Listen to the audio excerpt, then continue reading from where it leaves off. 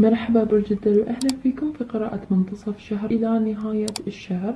هاي القراءة راح تكون مقسمة إلى قسمين. أول شيء عندنا بننظر إلى المال والمشاريع. آه وبعدين نشوف القراءة العاطفية بأسلوب المرايا مثل ما أنتم طلبتوها. وهاي القراءة العاطفية خصوصا ممكن تكون عكسية وكمان تصلح للطالع والشمسي وأيضا القمري أو أي كوكب عندكم موجود بهذا البرج برج الدلو. Okay؟ أول شيء ننتقل إلى جانب الأموال والحياة العملية وال business. شوف شنو عندك يا برج الدلو ولو, ولو أن طاقتك خلال الشهر كانت جدا جميلة. نوع من القلق نوع من الخوف ولكن هذا الخوف مو لك أنت مو موجه لك أنت يا برج الدلو هذا خوف الآخرين من انتصاراتك عندنا هني Ace of Swords السيف الأول. برج الدلو أنت في طاقة أنا كنت حسيتها من قبل. هذه الطاقة اللي وياك تبتدي من الحين. ما أدري ليش. فهني عندنا يا برج الدلو لا مزيد من الانتظار. حتى لو أنت حاولت تأخر أي شيء عندك في حياتك العملية لو كان في شيء متعسر عندك فترة طويلة ما تقدر حتى لو أنت حاولت استخدمت طاقتك الخاصة ما تقدر تأخره. العجلة راح تمشي لصالحك. سواء رضيت أو لم ترضى okay؟ في عندنا انتصارات كثيرة هني okay؟ غيرة غيرة. هذه طاقة الغيرة. إن برج الدلو شلون حقق هذا الشيء؟ في فترة قصيرة. استيقاظ العملاق النائم. شلون كان فترة طويلة. ما عنده إنجازات تذكر ما حقق شيء ما قدر يحصل. خلينا نحددها أكثر دام إن عندنا هني قراءة ال business والحياة العملية والأموال. برج الدلو سيف الأول. يقول لي هني إنه في في خبر كبير خبر كبير راح ينتشر في وسطك ويصل إلى مسامع الأشخاص اللي يغارون منك ويحسدونك. بخصوص تطور أيضا كبير في الحياة العملية انتصار. الناس يبتدون يتعاملون معاك في ال business. سمعتك تبتدي توصل. يجلسون مع هذين الأشخاص اللي يغارون منك ويمدحونك. هني السمعة بعد. يمدحونك. يقولون كانت فرصة سعيدة لما سوينا business معاك. وصلتنا الطلبية وصلتنا الخدمة وصلنا المنتج وكان أفضل مما توقعنا. Exceeding expectations هي هاي الطاقة. أول شيء أحس إن الانتصار يأتيك على حين غفلة. أنت كأنما حتى مو ناوي. دائما أقول أفضل الأشياء تأتينا في الحياة لما ما نكون مخططين لها. هذه بالطاقة هذه بالضبط الطاقة اللي قدامنا. أنت على غفلة أو أنت حتى مشغول بشيء ثاني همك آخر همك هذا الموضوع. الانتصار الكبير الانفراج الكبيرة. أوكي أن أنت تصل إلى مستوى عالمي محلي قوي في في صنعتك في تجارتك. أوكي؟ هذا النوع. ولكن هذا ما يأتي بدون غيرة وقلق الأشخاص. ليش هني أشوف يمكن منافسين أو حتى حاسدين؟ هذولين الناس للأمانة لازم أقول الكلمة مبتدين في المجال مجال التجارة مجال النجاح العملي قبلك. مشوا مشوار قبلك يعني مشوا خلنا نفرض مثلا مشوا ثلاثين ميل. ولكن برج الدلو خلال شهرين خلال آخر شهرين في السنة عرفتوا طاقة السلحفاة والأرنب؟ نفرض أن القصة شوي نغيرها. الأرنب ما أخذ الغرور لآخر مدى واستيقظ في آخر خمس دقائق من السباق. هذا الأرنب اللي عندنا اللي راح يستيقظ أوكي؟ في آخر خمس دقائق في آخر سنتين من في آخر شهرين من السنة. تستيقظ يستيقظ هني العملاق ويحقق شيء ما حققوا هذين الأشخاص اللي كانوا ذابحين نفسهم مستهلكين طاقتهم طول السنة هذا ريفلكشن كأنما الكون قاعد يغششك الله سبحانه وتعالى قاعد يعطيك نوع من ال ال ال ال الدفعة اللي راح تقدر تميزك. فارس الأكواب. هني برج الدلو تحاول جدا تكون متواضع. Okay. أم تحاول إنك تشكر الأشخاص اللي ساعدوك. وما تنسى فضلهم هذا من أطباع برج الدلو انه دائما هو برج الإنسانية برج المجتمع برج التواصل برج الجميع. ينظر إلى جميع الأشخاص المعنيين. ولكن هذه اللحظة خاصة فيك وبقول لك ليش. هذه لحظة تكريمك. في راح يأتيك إن شاء الله في الفترة القادمة. هذه القراءة نعم للأسبوعين القادمين ولكن طاقة التارو مو لزمان محدد. فهني لحظة تكريم رسمية. أنت تعمل مع من؟ أي جهة رسمية؟ أي عمل خيري أنت قمت فيه؟ أي عمل أي عمل حتى ليش هني أنا أقول لك إنجازك صعب أن تحققه؟ لأن الأشخاص حققوه في تسعة شهور. أنت على آخر ثلاثة شهور شهرين من السنة تحقق هذا تصل إلى ال target. إذا كان عندك هدف معين في المبيعات هدف معين في الأموال تأتيك رسالة شكر حتى من البنك نفسه اللي أنت تودع فيها أموالك. Okay؟ رسالة شكر رسالة اعتراف رسمية من جهة أيضا رسمية من جهة لها وزنها. ولما أقول لها وزنها نشوف هني أربعة الخماسيات. هذا النوع من التكريم ما يحصل كل منها بدب بعد شوف هني برج الدلو يحاول إنه يكون كيوت. يحاول إنه حتى في ابتسامته واستلام الجائزة.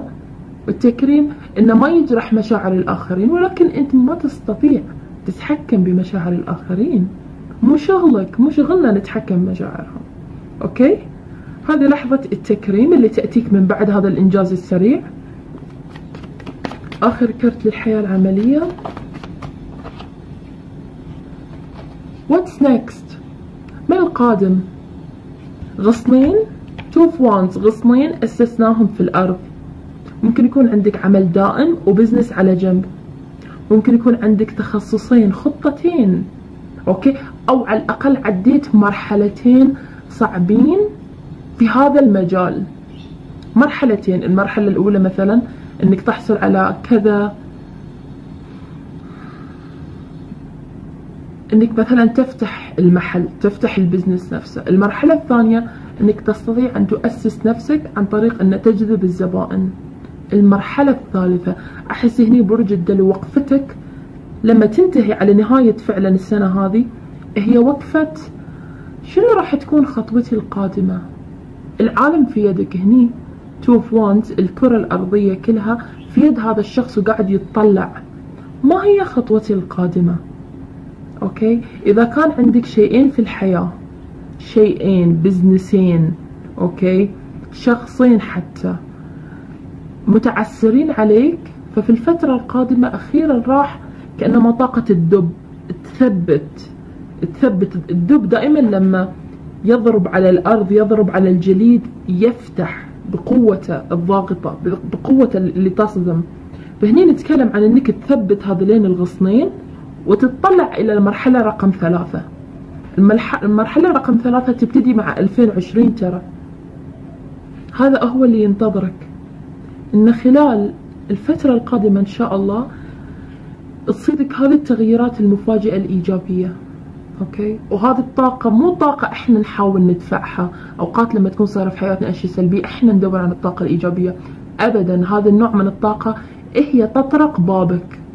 في أحد أيضا تشوفي هني أحد يمكن أصغر منك سنا ولكن راح ينبهك على شيء جدا مهم. أصغر منك سنا أبعد عنك مسافة من دولة ثانية من ثقافة ثانية ولكن طريقته في عمل الأمور الأمور عنده طريقة إبداعية راح ينبهك يغششك حتى شخص هني يغششك يعطيك طريقة إنه تقدر توصل فيها أسرع. دابة طريقة أسلوب توصل أسرع لمرادك تحقق أسرع امانيك هذه ثالث كرت ونسحب آخر كرت للحياة العملية هني من الأوراكل.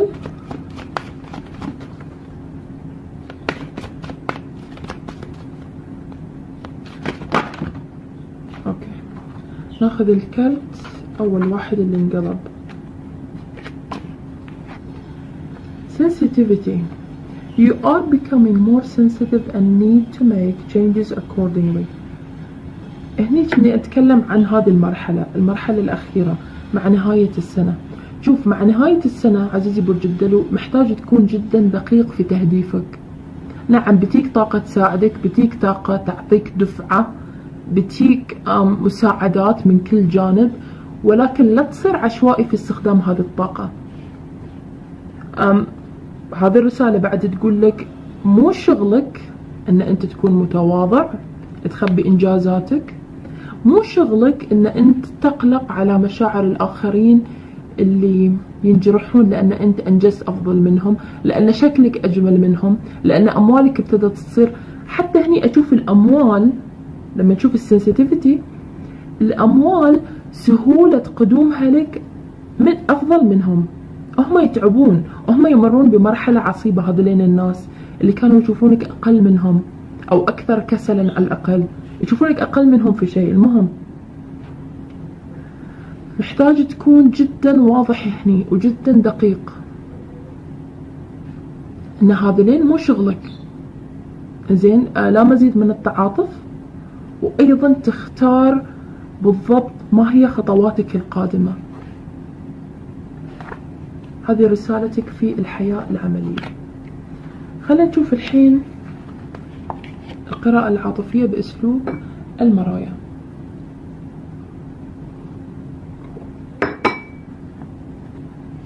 برج الدلو. من تحت عندنا ملك السيوف. أنت اللي راح تكون لك اليد العليا في الحياة العاطفية في الفترة القادمة. أوكي أنت اللي راح تكون الشخص اللي calling the shots. اللي تأمر.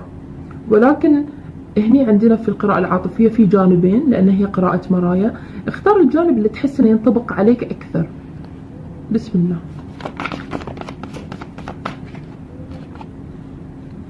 أربعة سيوف. ستة الأكواب.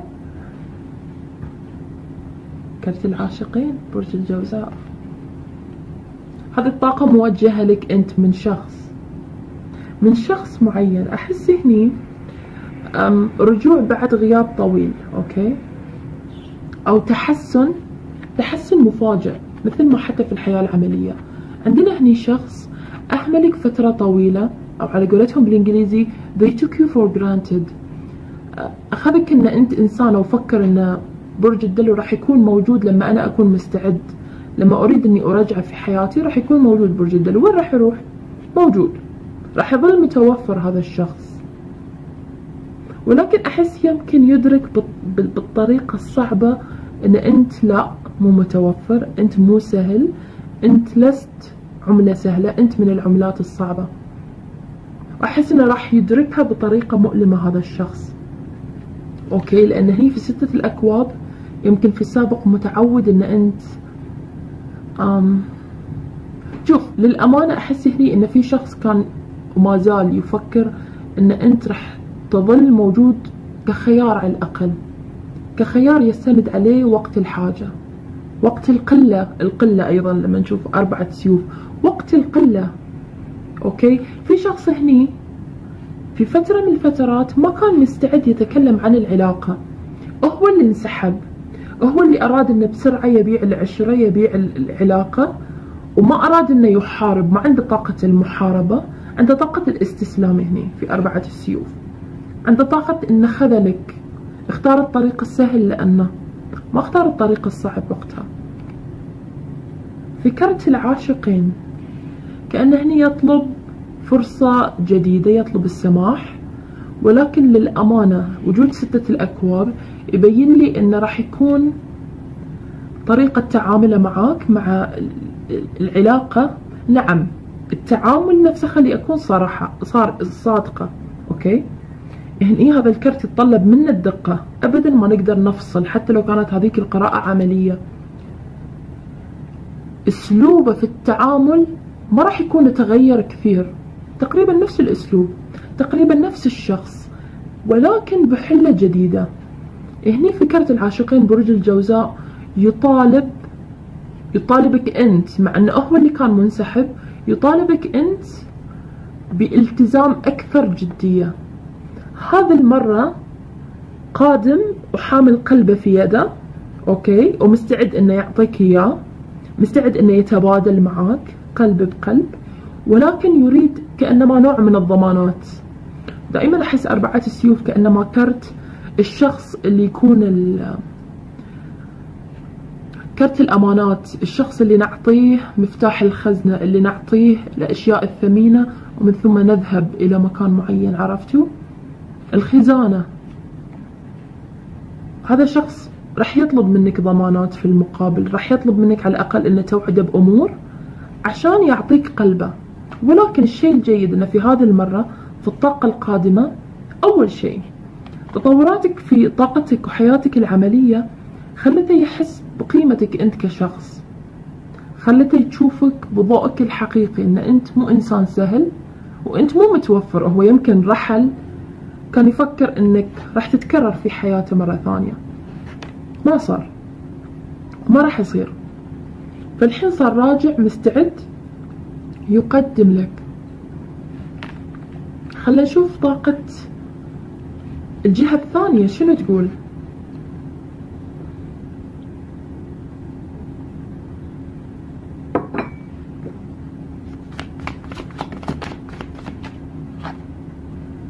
سبعة الأغصان.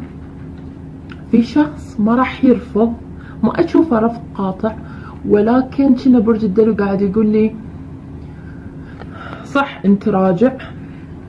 وأحس برج الدلو لا نكذب على بعض. انت ما تحتاجني أقول لك. انت عارف ان عرضه حقيقي. ولكن احسك راح تختار بملء ارادتك ان أيضا تضعه تحت الاختبار. تصعب عليه الأمور. okay؟ لمجرد تصعيب الأمور. انت عارف انه هو حامل قلبه في يده. okay؟ عارف إنه ما رجع لك إلا لأنه أدرك شيء في القلب. حاول يستبدلك في قلبه ما استطاع. ولكن أحس هني برج الدلو ما راح يسهل عليه ابدا. ما راح يسهل عليه عملية الرجوع راح يحطه في اختبارات. وبعد الاختبارات امتحانات وفي امتحانات عملية في امتحانات نظرية في امتحانات تخص المطالبات. system عندك system برج الدلو عندك system بخصوص أو أو خطة كاملة محكمة بخصوص شنو راح أسوي لما يرجع هالشخص؟ وأيضا طاقة التارو قاعدة تشجعك. لو ما كان عندك ادخل في هاي الطاقة. طاقة اللي استعد إنه يعترف في أي لحظة. اعتراف وشيك. أوكي. وخل مطالباتك جاهزة. ورقة المطالبات. عشان يكون في شيء مثبت للرجعة هذه المرة. مثل المرساة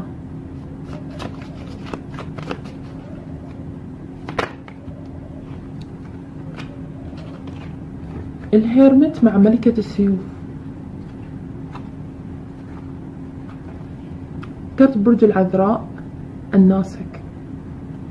أوكي أم مع كرت. ملكة السيوف. أحس هني إن برج الدلو ترى قاعد يقول لك في أمور شوف أنت من حقك تسأل الشريك عن خفايا وأسباب تصرفه بالطريقة السابقة. من حقك تسأله لماذا رحت ولماذا رجعت وشنو شنو اللي حفزك ترجع وشنو صادق أثناء افتراقنا وشنو اللي خلاك تفكر فيني شنو ذكرك فيني. هذا النوع من الطاقة من حقك ولكن مو من مصلحتك. من مصلحتك ان تدخل أكثر في طاقة الثقة بالنفس. شنو صاد هالشخص؟ اللي اللي اختفى عنك فترة والحين راجع بعد غياب وراجع على قولتهم شو يقولون؟ حامل اذيال أذيال الفشل معاه. تقدر تسأله ولكن ما راح تستفيد. وبرستيجك راح يقل. لأن نشوف الملكة. الملكة دائما يهمها منظرها وصورتها وبرستيجها. نعم راح تحصل الجواب الصحيح. لما سألته أو تسأله هل تعرفت على شخص ثاني؟ هل تركني بسبب شخص ثاني؟ هل كان في حياتك شخص ثاني؟ هل اللي كنت تدور عليه ما لقيته مع هذا الشخص عشان كذي رجعت لي؟ من حقك. ما حد يقدر ياخذ منك حقك. ولكن إذا كنت فعلا ترغب لحد الآن عندك رغبة جادة فهذا هو الوقت إن ندفن الماضي مع بعض.